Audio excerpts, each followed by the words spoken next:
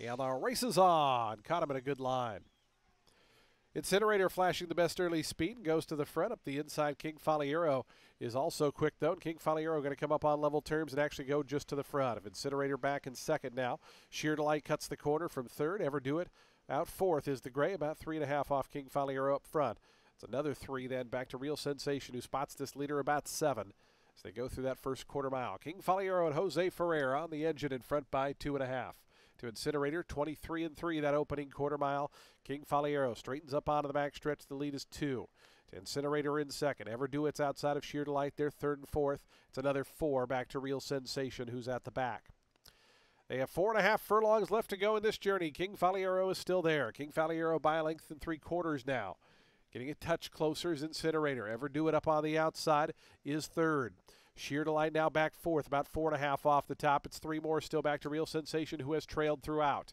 47 and 4 that opening half mile time. King Faliero in front by a length and a half. Ever do it moving up alongside of Incinerator now. And here's Ever do it poking a nose into that second spot just a length behind. King Faliero who continues to lead him. King Faliero to the quarter pole and leads three quarters of a length now. Getting closer as Ever do it. Incinerator, Real Sensation, Sheer Delight both running on as well. The five of them just covered by two as they come to the top of the stretch. Ever do it up to grab the lead. Incinerator up the inside. Sheer Delight down the far outside along with real sensation. Ever do it is just in front. It's Ever do it to the 16th pole. Incinerator trying to battle back toward the inside with real sensation, but Ever do it in front late. Ever do it wheels back from the Tampa Bay Derby to win here by two.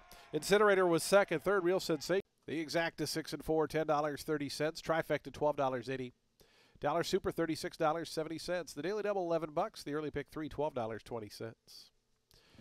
Today's fourth race, the Wearin' O' the Green purse allowance optional claiming event of $32,000, the optional tag.